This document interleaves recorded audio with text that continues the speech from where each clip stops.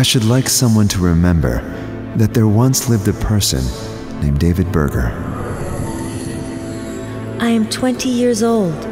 Why are they going to destroy us when everything within me yearns for life? These are the final words that I will write to you, for I am to be shot tomorrow morning at dawn. These are the voices of the murdered, three of the six million Jews whose lives were cut short by the Germans and their collaborators, who wanted not only to destroy them, but to obliterate their very memory.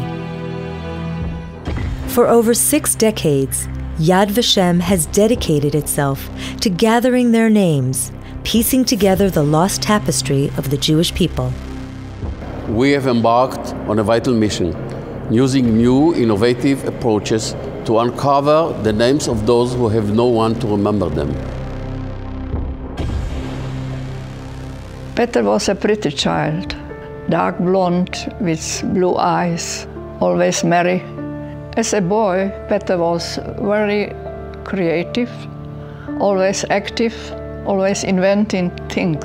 I remember him sitting at home at his table and drawing something or writing something.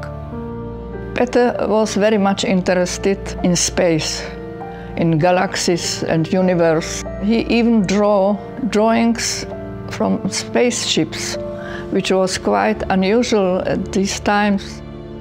The last time I saw him was in Terezin before he was taken to Auschwitz. He was 14 years old. I was hoping to the last minute that the train will not come. I saw him on the train. He came to the window and I gave him a piece of bread for the journey. He took my hand and it was the last time I saw him. Peter is among the 4,200,000 names of Holocaust victims recovered thus far. Half of them were collected from millions of pages of testimony of Holocaust survivors, family, neighbors, and friends of those who were murdered. Each page adds a name and another name, who they were, where they came from, where they died. People have submitted information in over 20 languages, mostly handwritten. We had to develop uh, sophisticated search and retrieval tools to enable our experts to examine the data, to look for nicknames and related names, and to cross-reference the information.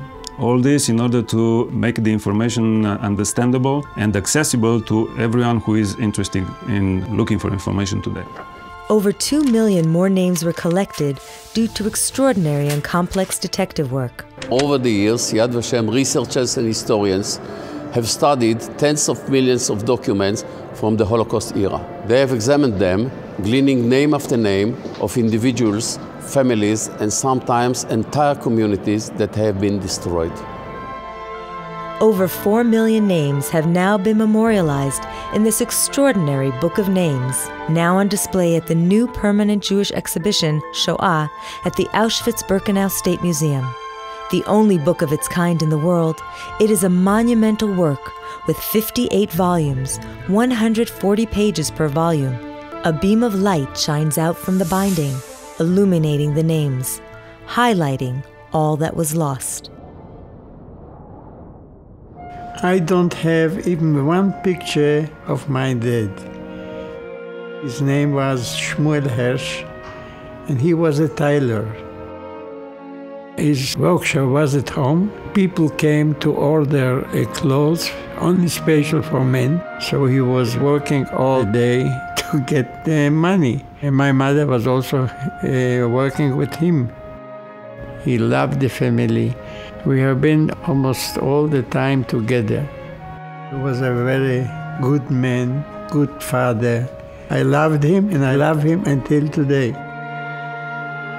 The last time I saw him when the German took all the people out of the houses, then they took all the men to the market, and then they sent them to the camp. And since then, I haven't seen any more of my father. I miss my father every day. There's no one day that I don't think about him. I didn't say Kaddish all my life. Because I didn't see my father dead, I hope that he's still alive. I know it's not reasonable that he will be today alive. I am 85 years, but I still hope. Six million Jews were murdered in the Holocaust. Nearly two million remain anonymous. Yet efforts continue around the clock and across the world to fill these empty pages, where they will be forever remembered. We will not rest until our mission is complete.